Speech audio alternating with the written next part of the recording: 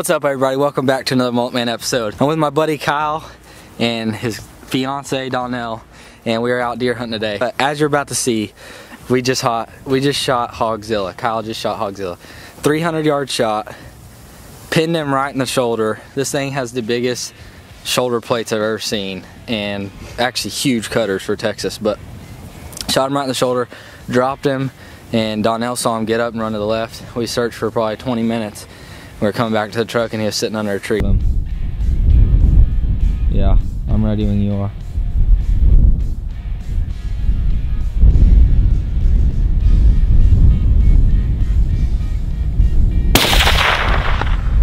Got him. Oh, here he is. Giant. Look at those cutters.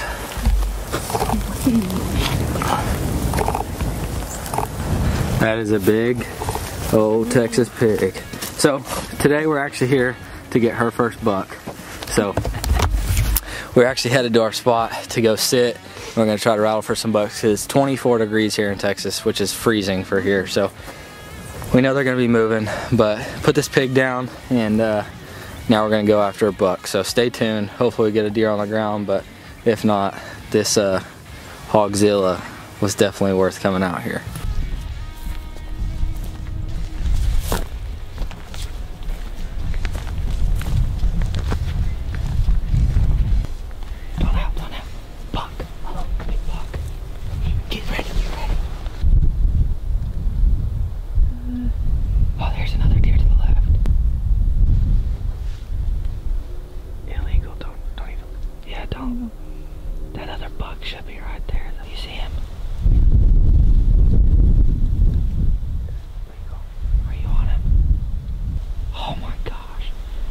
Well guys, it is the next day and it is still freezing here in Texas. I went and sat in the deer blind this morning and my hands were absolutely freezing. It was 21 degrees in the stand. But anyway, um, I came home yesterday. As you saw, as you didn't see, we didn't, uh, Donnell did not get a deer yesterday.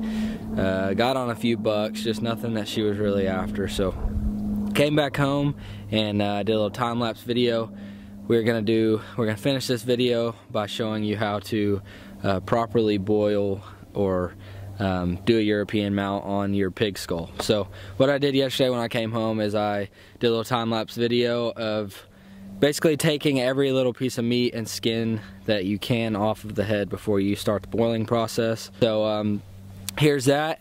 I'm gonna go get the uh, water started. Y'all enjoy.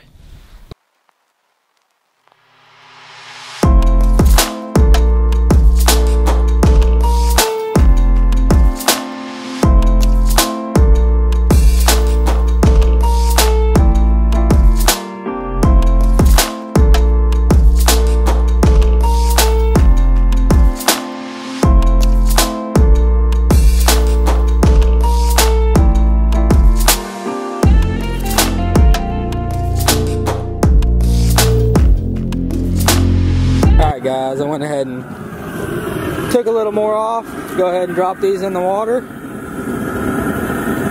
and let them boil. Okay guys, so it's been in it's been boiling for probably uh, I'd say about 20 minutes. On the head of the pig has broken off or it's split down the middle. And that's what you're looking for whenever you're boiling. Whenever that I can't get a hold of it. But whenever that skin starts to split down the uh, down the middle of the face, we're ready to pressure wash. So I'm gonna throw on my little uh, rain suit deal, and then uh, and then I'll see y'all over at the pressure washer, and uh, we'll get all this junk off. Then we'll move to the next step, which is whitening it.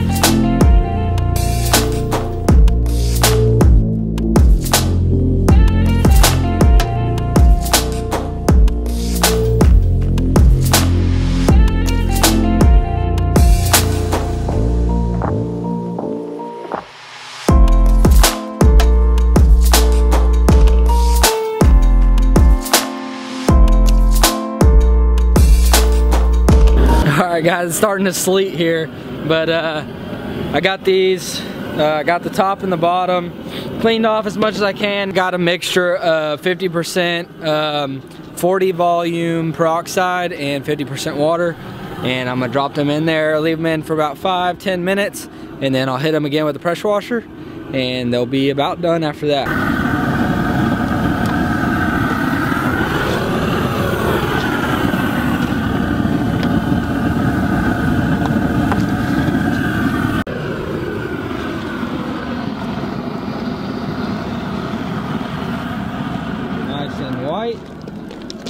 Take it over here and pressure wash it real quick and then I'll show you all the finished product.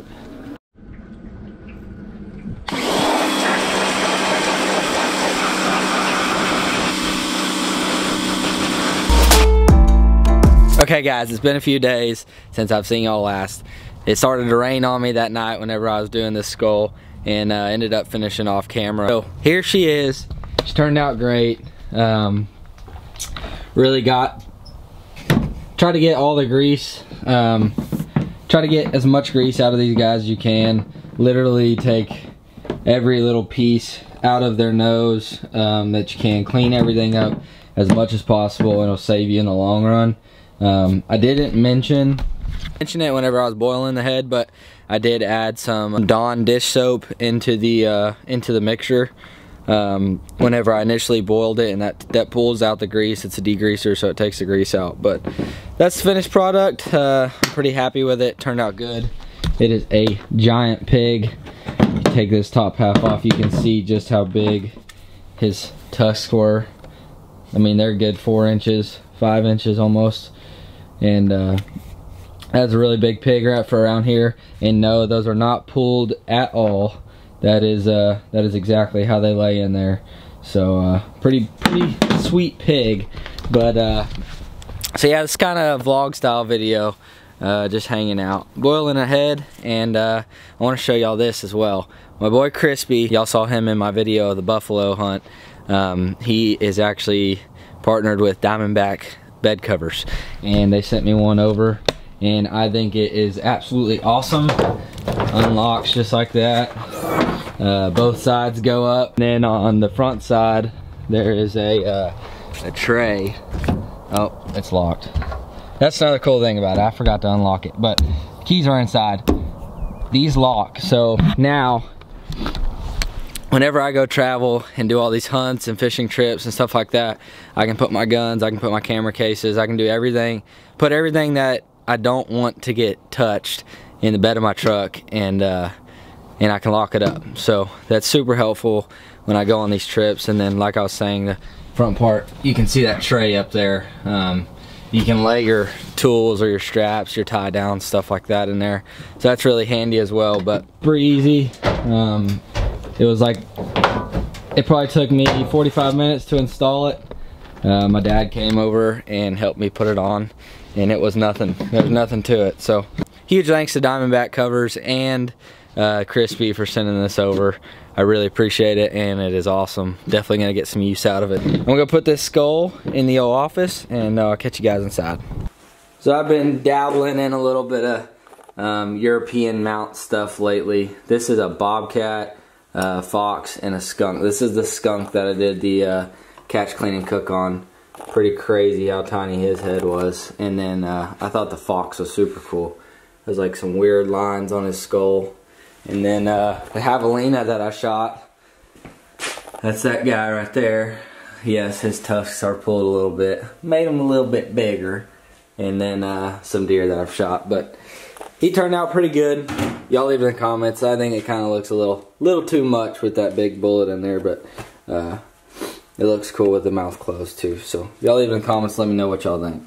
Back on the wall, I got a 50 cal bullet with... Uh, my name on it. It was a groomsman gift. That in there, I think that looks pretty cool. Pretty crazy looking pig right there. So anyway, hope you guys enjoyed this video. Uh, got a few hunts coming up next week. A very special person is coming in for a whole week, so uh, be ready for those upcoming videos. I'm gonna be doing some trapping soon.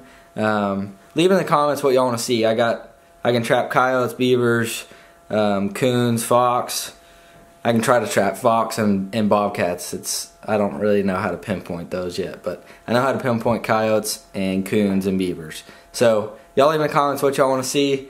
Uh, we can definitely do it. So stay tuned for the upcoming videos. There's another giveaway coming up, another hunt giveaway coming up. So stay tuned. Make sure you check out every video so you can see whenever that hunt, new hunt giveaway is announced and then I will be announcing the winner of the hunt giveaway right now that's going on. All you have to do is go to mulletman.net, spend $20. Every $20 will get you entered into the hunt giveaway.